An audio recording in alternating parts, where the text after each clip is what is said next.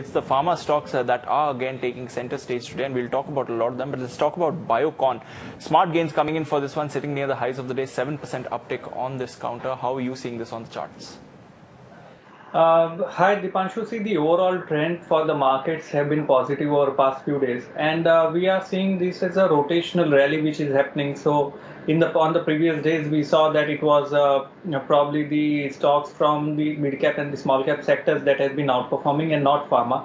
In today's session, pharma has uh, shown outperformance, and Biocon especially has been uh, uh, sharply higher. So, which is suggesting that the trend is going to be positive as long as index is managing to sustain above the levels of around 9850 uh, so that is a very very important level that one has to observe.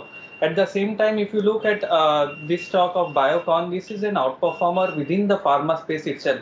So long positions i think can be created uh, even at the current levels but one has to maintain a strict stop loss which is going to be somewhere uh, at the zone of 345 which is today's low. So 345 is going to be an important level to observe as long as that is intact, I think we can again head towards the level of 400, which is near the previous highs that we have seen.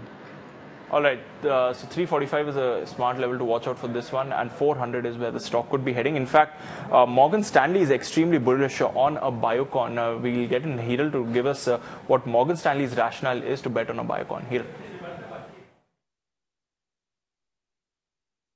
That's right. Uh, uh, Havel, so what's your view on the charts over here? Uh, yes, absolutely. See, this uh, within the capital uh, good space, this has been a very strong outperformer again.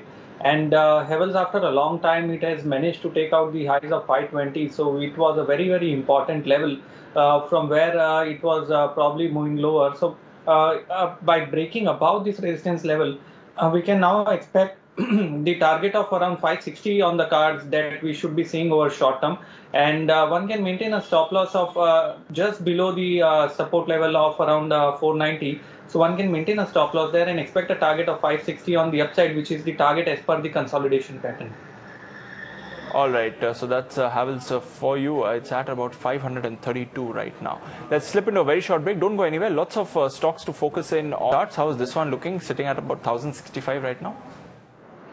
Uh, see, overall trend for Lupin, if you look at a bigger picture over past two years, it has been in a downtrend. So the entire pharma space, barring a few stocks, have been in a downtrend for past two years. But I think uh, the valuations have turned out to be very attractive at the current levels. And uh, given that the other stocks have been become very expensive, I think Lupin is very well placed. And uh, fundamentally, the things might be changing. The entire cyclicality might be uh, changing on the upside so from medium term perspective, I think uh, one can start uh, accumulating these stocks at the lower levels. And from the short term perspective, we are yes seeing some momentum on the upside, but uh, there is some concern of crossing above 1150 level. So if 1150 is crossed, then we can say that the stock is out of the wood.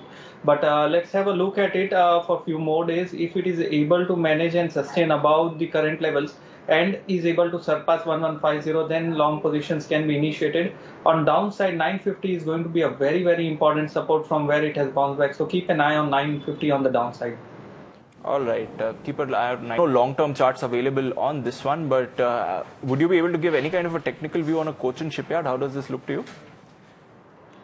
Uh, yes, uh, see, uh, right now the stock I think is trading somewhere in the zone of 574 levels. Uh, I mean, that's a very, very sharp price, and we do not have a price history, so it will be difficult to comment with con- conviction that where it is headed.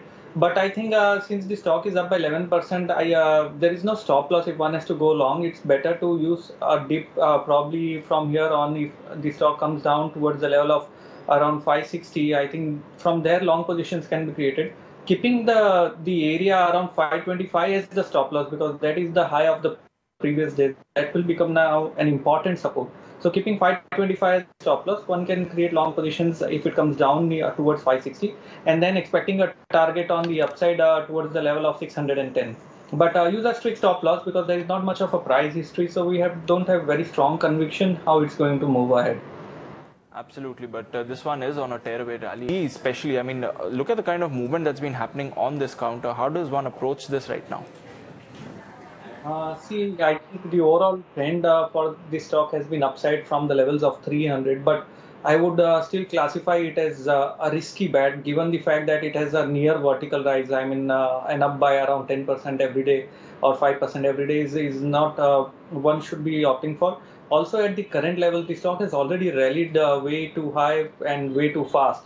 So, in case there is uh, any kind of a reversal, it's it can be equally culminating. So, at the same time, that's why it becomes very risky to bet on something like that.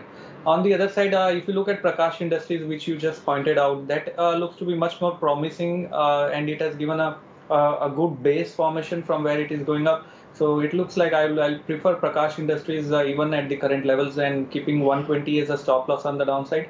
We can expect it to move towards the previous high of around 140, 142 levels.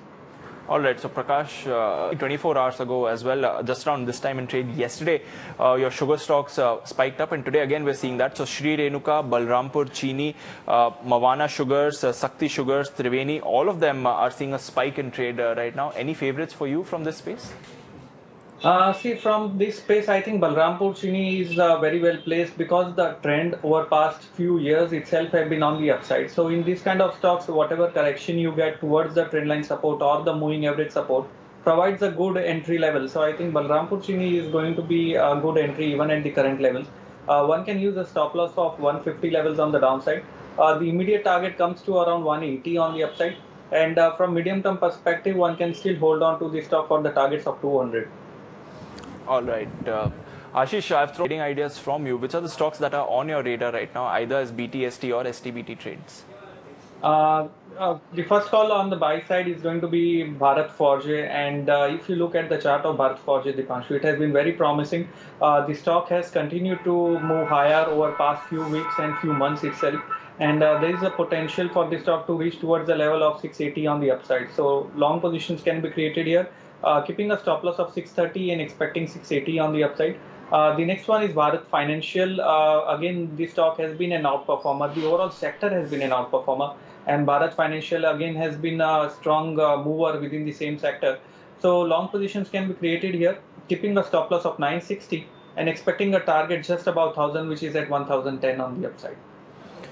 All right, uh, Natasha, consumption.